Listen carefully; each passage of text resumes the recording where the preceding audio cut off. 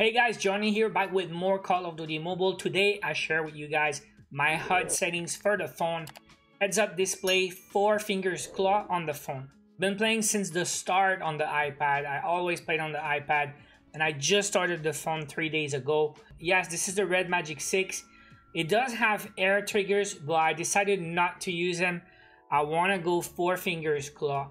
Uh, people ask why. If I get used to triggers, it's like maybe playing with controller and I will never get better with the four fingers claw. So I said, if I'm gonna jump on the phone, I'm gonna go straight to the four fingers.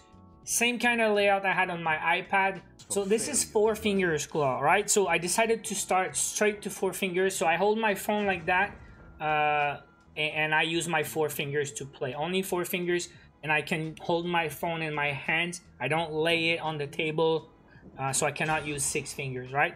Uh, I didn't want to do transition to two thumbs and then three fingers and then four fingers because I'm already playing four fingers on the iPad. So first thing I want to talk about is the top right corner, right? The right index finger.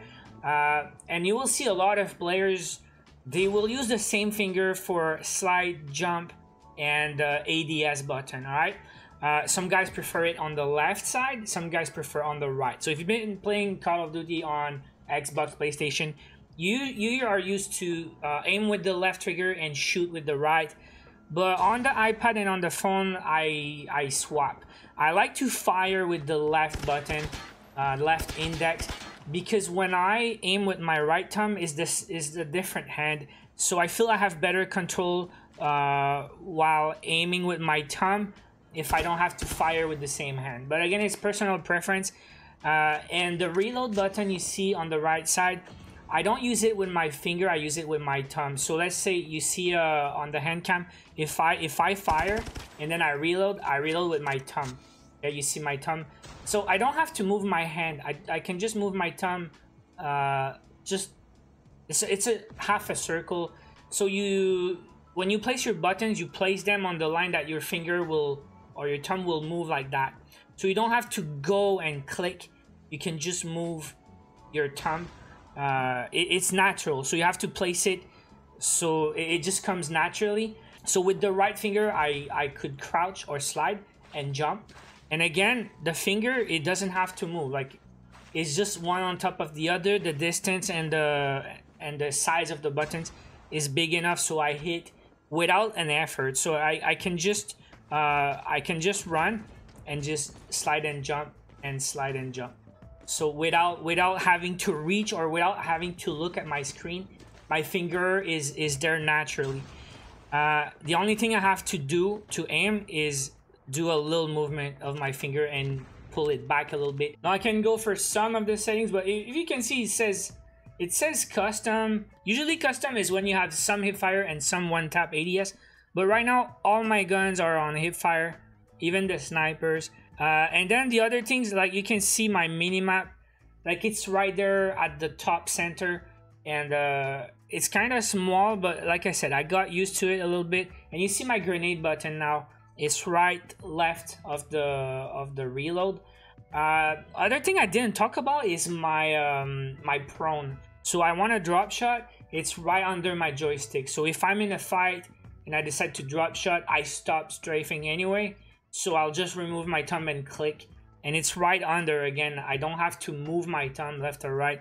I just go under my joystick and it's gonna it's gonna drop shot. Uh, and same thing for changing guns. It's just uh, left of my thumb. I don't have to go uh, very far to to use it and my score streak is my my other thumb now next thing is maybe some settings on the basic settings so I still use aim assist. Uh, it's there, you should use it. I don't know why you would not use it. When COD Mobile started, uh, some players would not use aim assist because sometimes when there's two targets very close, the aim assist will go on the target that you maybe didn't want to and you wanted to shoot the other target. So it could be an issue, but not often enough to justify not using aim assist. So I suggest you use it. Now the rest, my fast throw grenade is off.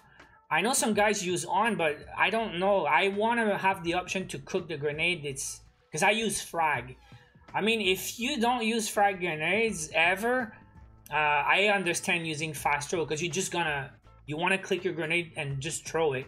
You don't want to fire to throw or, or cook it or hold it. Tap and hold to ADS, that's something I changed recently again. Because uh, if you just tap to ADS, sometimes you don't go out when you want to. One more thing, tap to, to slide. I mean, everyone or almost everyone is doing this. And I am at always sprint. Um, I tried two things. I tried not always sprint, but sensitivity to 100. And it was not working so good for me. I think always sprint is better. I don't find any uh, situation where I would walk right now. So I'm okay with that. Field of view is personal. Uh, I didn't mess with that. It was 65 on my iPad. I might start changing that a little bit, guys. So don't, uh, maybe don't quote me on that because it's my iPad field of view. I don't know for now. Um, I don't know the rest. Not much to talk about, guys. My graphics and settings is just because I stream. I don't want my phone to die too fast. If I play three hours straight, medium graphics and high FPS. Uh, just so I don't burn my battery too fast. But the phone can play on Ultra. It's a, it's a Red Magic 6. The link is in the description, guys, if you want to know the specs and stuff.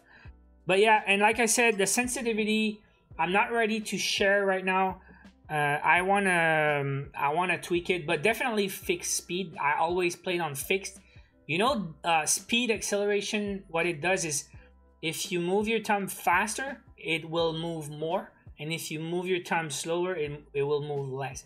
So i guess if you always been playing like that you're gonna get used to it but it's it can be inconsistent a little bit and that could be a problem.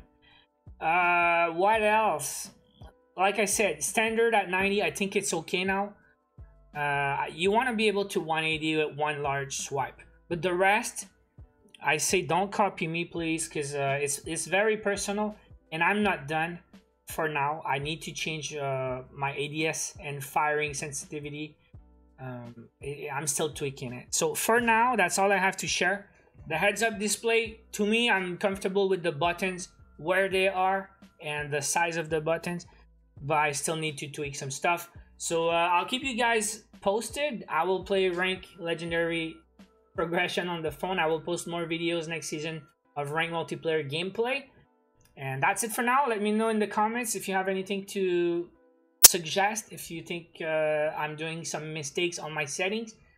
But like I said, for now, I'm doing okay. And we'll go from here. So thanks for watching, guys. Hope you guys enjoyed the video. Smash like if you did. Don't forget to subscribe for daily Mobile videos. I'll see you guys in the next one. Take care.